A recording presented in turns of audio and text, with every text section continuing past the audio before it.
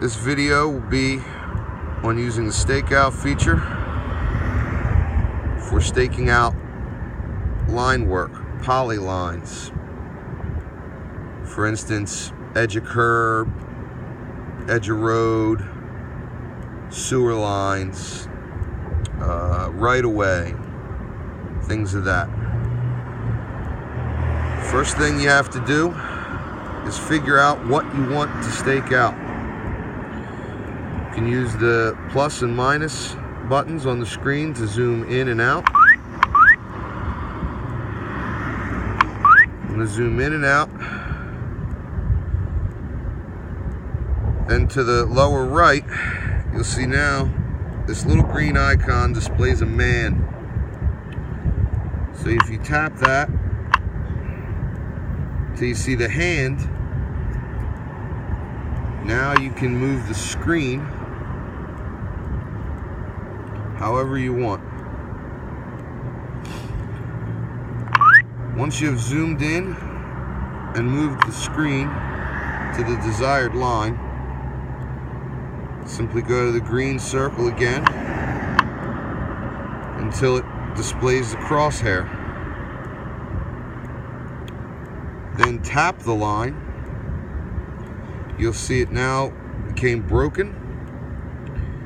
And down here, this eye turned blue. Double check to make sure what you selected is what you wanted. Just touch the blue eye and the information on that line will show up that it's a gas line. If that's what you want, simply hit cancel Now, to stake that line out, we go to survey, stake out, polyline. This is something you want to read every time because it can get tricky. And to stake out the entire line, you select no. If you only stake out a segment of the line, and you're not paying attention,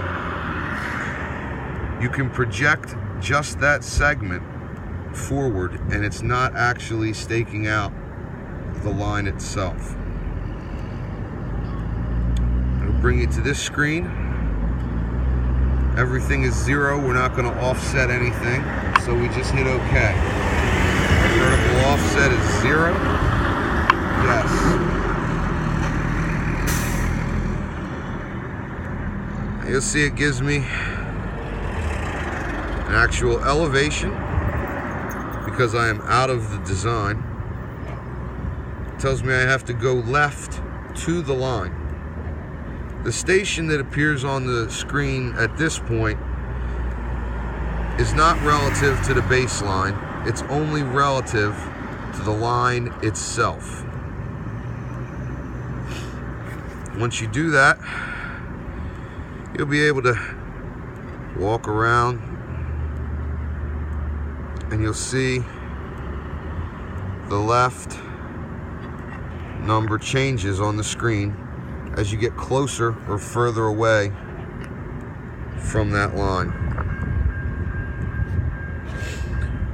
Once you're done, simply go to survey, stakeout, stop stakeout and everything disappears.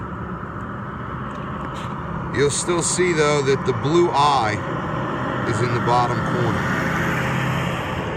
If you wish to stake out a different line now, you must go to data, clear selection. Now the eye went back to gray. Only one item can be selected at a time or it will not stake out that a line. Now you simply find a different line and repeat the process.